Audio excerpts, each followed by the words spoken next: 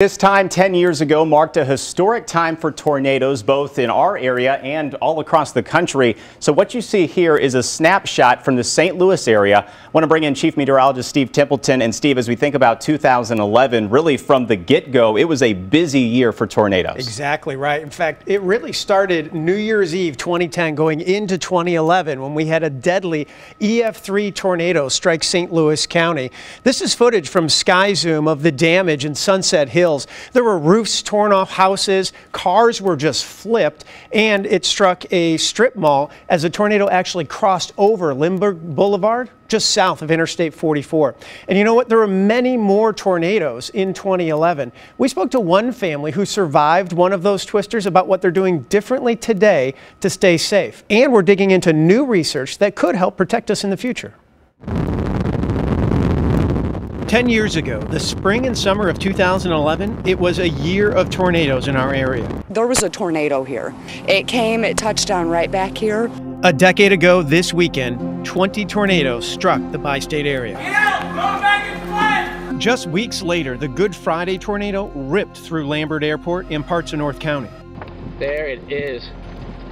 Oh gosh, that is a monster tornado.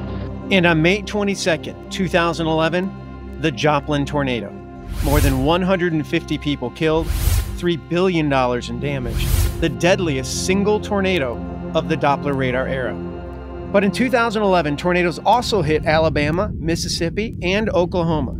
In all, more than 1,600 tornadoes. The spring and summer of 2011 will likely be remembered as one of the most destructive and deadly tornado seasons on record. More than $28 billion in damage more than 1,600 lives lost, and six EF5 tornadoes. It was very, very scary. That was Rodney Winslow 10 years ago after the tornado tore the roof off his Troy, Illinois home on February 27, 2011. First thing that came to our mind was our kids, and we went to get them, and we didn't have time to to go down to the basement, so we did the best that we could underneath bunk beds, loft beds, and we really felt that the Lord was protecting us and, and just had his covering hand over us. Recently, I spoke with the Winslows about that night 10 years ago this weekend. I remember going in and just everything was shaking around me. They spoke about the suddenness of the storm hitting, the ferocity of the winds, and how lucky they were to make it out alive, almost all unscathed.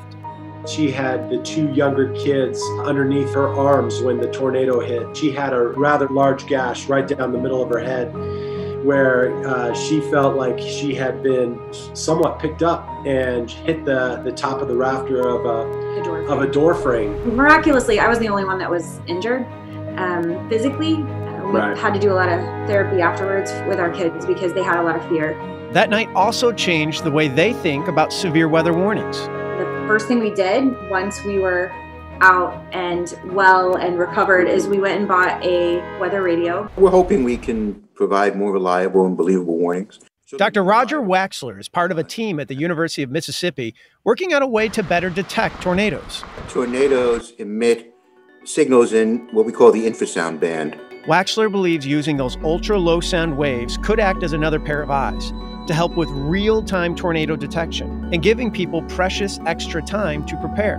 His group started developing infrasound microphones in the early 2000s to help assist governments in spotting illegal nuclear weapons tests. At the same time, his group was funded by the National Oceanic and Atmospheric Administration to study infrasound monitoring of violent weather. We have successfully detected from F0s to F5s uh, out to distances of so far 80 to 100 kilometers. Ultimately, we'll be able to provide is you know, a screen on a TV or computer with a map and tracks. There's a tornado here, and here's what it's doing. But right now, more study is needed before these arrays could be set up as an early detection system. But Waxler is confident this technology will help save lives. I think it's a big difference between hearing these sirens four or five times every season and actually seeing a map with a, a track and knowing, oh, my house is there. But many people get their warnings by emergency sirens. However, sirens are not meant to be heard by people indoors. They're really knocking on our door. Of course, you can get the latest information on TV and the radio, but if your power goes out, you won't be able to do that. Fortunately, there are other options. One, a NOAA weather radio programmed for your area.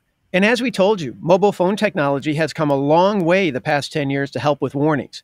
So take a minute and download the KMOV app on your smartphone. Because as the Winslows will tell you, you can never be too prepared and always take every warning seriously. If you haven't experienced it firsthand, it's not a fear for you.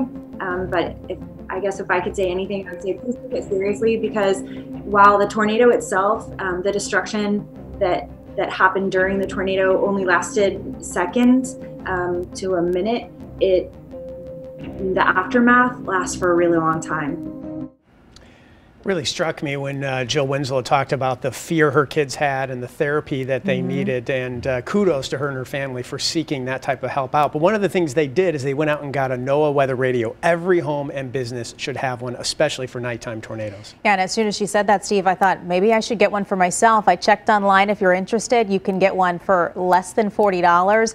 That's $40 that could be the difference between life and death if a big storm ever goes through.